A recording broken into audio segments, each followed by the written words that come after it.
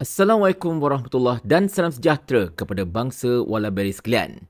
Benarkah bersatu ini berpotensi untuk diharamkan? Dan satu lagi soalan, kalau betul, adakah ini merupakan satu strategi yang memang telah ditanamkan sejak sekian lama dalam bersatu yang orang tak sedar sebenarnya? Kita intro dulu. La la la la la la la la. Cerita dia macam ni tuan-tuan dan puan-puan sekalian. Kita semua tahu tentang pindaan perlembagaan bersatu yang telah diluluskan oleh ROS pada awal tahun ini yang menyaksikan berkemungkinan besarnya kita akan berhadapan dengan PRK dekat 8 tempat. Di mana benda ini memang orang kata satu prospek yang sangat-sangat luar biasa lah kan. Tetapi satu perkara yang agak pelik kita tengok kan bila ahli-ahli bersatu ataupun MP-MP dan juga adun bersatu yang melompat itu mereka macam tak berapa orang kata apa heran sangat benda ni. Macam tenang je, macam relax je. Macam yakin gila yang mereka ini tidak akan mengusungkan kursi dan sebagainya.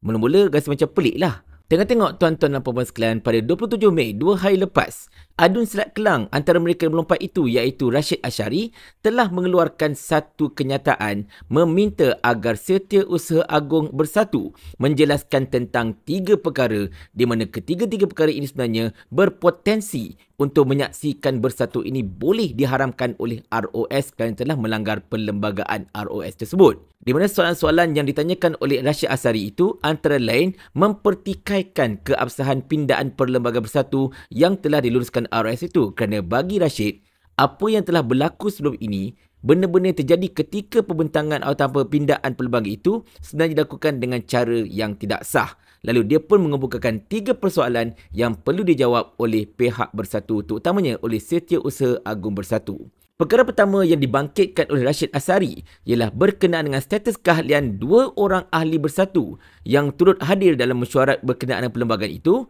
dan juga kedua-dua ini merupakan adun iaitu saudara Muhammad Rafiq Muhammad Abdullah dan juga Muhammad Yazid Muhammad Yunus di mana secara asasnya Muhammad Rafiq dan juga Muhammad Yazid ini bukanlah orang Melayu. Sebaliknya salah seorangnya merupakan India Muslim dan lagi seorang merupakan Punjabi Muslim. Jadi secara asasnya, Rashid membangkitkan tentang perkara 7.3 Perlembagaan Bersatu yang menyebut ahli biasa ialah warga negara Malaysia pribumi yang berumur 18 tahun ke atas. Di mana fasal 2 Perlembagaan Parti yang sama juga telah menyebut takrif pribumi bermaksud warga negara Malaysia berbangsa Melayu dan Bumi Putra termasuk orang asal dan anak negeri Sabah dan Sarawak seperti ditakrifkan dalam Perlembagaan Persekutuan, Perlembagaan Negeri dan juga Undang-Undang Negara. Jadi secara asasnya, oleh kerana berkaitan dengan dua-dua benda itu, maka Rashid telah mempersoalkan kerana Rafiq dan juga Yazid ini secara asas dia berdasarkan kepada takrifan perlembagaan bukanlah orang Melayu, bukanlah orang Bumi Putra. Walaupun beragama Islam, tetapi mereka merupakan bukan Bumi Putra. Jadi secara asasnya, mereka berdua ini tidak layak dan tidak sah dijadikan sebagai ahli biasa pun sebenarnya kalau ikutkan perlembagaan bersatu yang telah tersebut itu. Dalam masa yang sama juga, kedua-dua mereka ini juga dilantik sebagai ahli MPT. Dan benda ini lagi besarlah konsekuensesnya. Sebab apa? Sebab mereka ini ahli MPT. Of course mereka ini akan mengundi juga dan sebagainya. Jadi kerana itulah Rashid telah mempertikaikan. Eh dua-dua ni bukan pribumi. Bukannya orang Melayu. Bukannya orang asal Sabah Sarawak dan sebagainya kan. Jadi macam mana mereka menjadi ahli biasa? Let alone untuk menjadi ahli MPT yang boleh mengundi. Itu perkara yang pertama. Perkara kedua yang dibangkitkan oleh Rashid Asari ialah tentang konon-kononnya berlaku pindaan perlembagaan bersatu fasal tujuh itu, perkara tujuh itu yang antara lain telah berubah kepada ahli biasa ialah warga negara pribumi atau warga negara Malaysia beragama Islam berumur 18 tahun ke atas. Di mana dakwa Rashid, pindaan ini tidak pernah dibincangkan dalam mana-mana mesyuarat MPT dan di luar pengetahuannya sebagai ahli dan ketua bahagian bersatu serta ahli-ahli lain kerana tidak pernah dibentangkan ketika mesyuarat agung luar biasa ataupun EGM ataupun mesyuarat agung tahunan ataupun AGM. Jadi secara asasnya Rashid kata pindaan ini dilakukan senyap-senyap tidak pernah dibedangkan, tidak pernah dibincangkan, tidak pernah dicerakinkan. Jadi bila benda tu tak pernah bentang dekat EGM dan AGM, maka secara asasnya benda ini dibuat senyap-senyap dan adakah benda dihantar pada ROS untuk diluluskan dan sebagainya.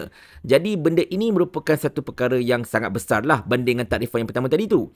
Di mana benda ini melibatkan ROS dan mungkin sekiranya kalau bersatu didapati bersalah dalam hal ini, parti mereka ini boleh digantung pendaftarannya dan juga boleh diharamkan. Dan untuk pengetahuan anda tuan-tuan sekalian, bila benda ini tidak pernah diluluskan di AGM ataupun EGM dan tidak pernah dibawa ke ROS untuk diluluskan pindaan dan sebagainya, benda ini, perkara ini telah melanggar Akta 11 kurangan 1 Akta Pertubuhan 1966 dan juga peraturan-peraturan yang berkaitan dengannya. Bersatu boleh dihadapkan ke mahkamah dan juga boleh dikenakan tindakan dibubarkan ataupun dibatalkan pendaftarannya dan seterusnya diharamkan. Ingat tak apa jadi pada AMNO tak berapa lama dahulu di mana benda yang diputuskan di luar EGM dan AGM serta dianggap melanggar perlembagaan parti dan hampir-hampir saja AMNO itu diharamkan pada ketika itu. Yang ini lagi serius tau. Itu perkara kedua. Dan perkara ketiga yang dibangkitkan oleh Syed Sari, okey, let's kau kata EGM tu AGM kebincangan tu dah ada.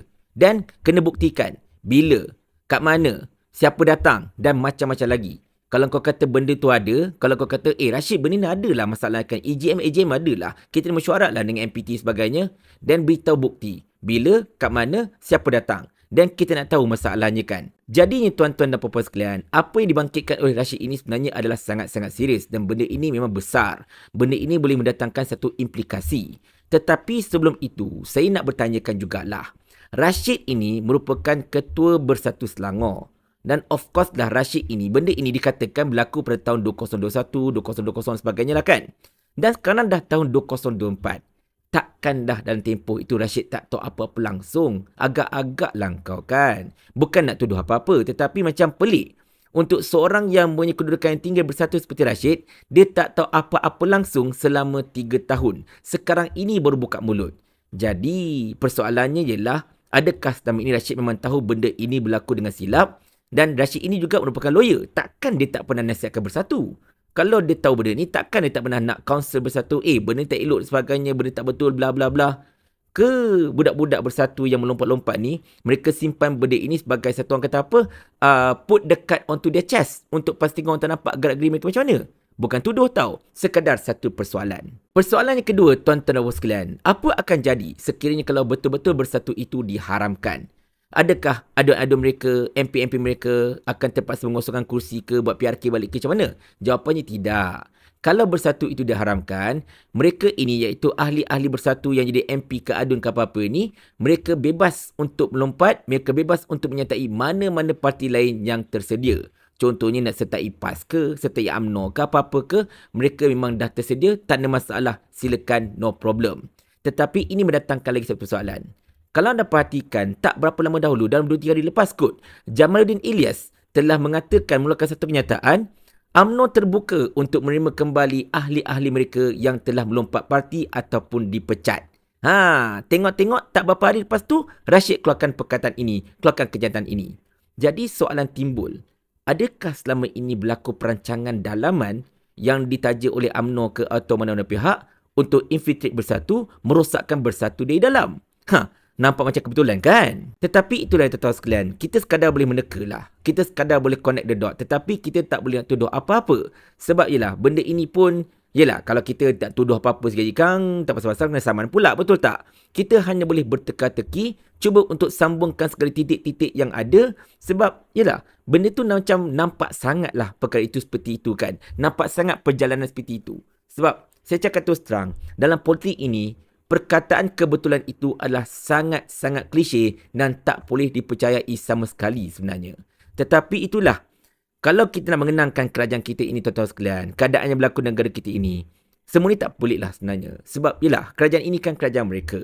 Mereka boleh buat apa sahaja tuan-tuan sekalian, termasuklah menggunakan apa sahaja taktik untuk melemahkan pihak lawan dan sekarang ini bersatu yang tengah menjadi mangsanya. Sebab banyak sangat perkara pelik perkara-perkara yang tak masuk akal, yang tak boleh kita nak jelaskan dekat sini, yang tak sepatutnya berlaku. Tetapi berlaku juga masalahnya. Yelah, Sina Hamzan dah warna kita awal-awal kan? Kita je lalai. Kerajaan ni kerajaan kami. Jadi ikut suka kami lah. Paling kurang aku ada formula. Ni kau ada menteri berlambak-lambak ni satu formula pun tak ada. Otak letak dekat mana? Saya ulang. Sampai Abang Jamil mampus.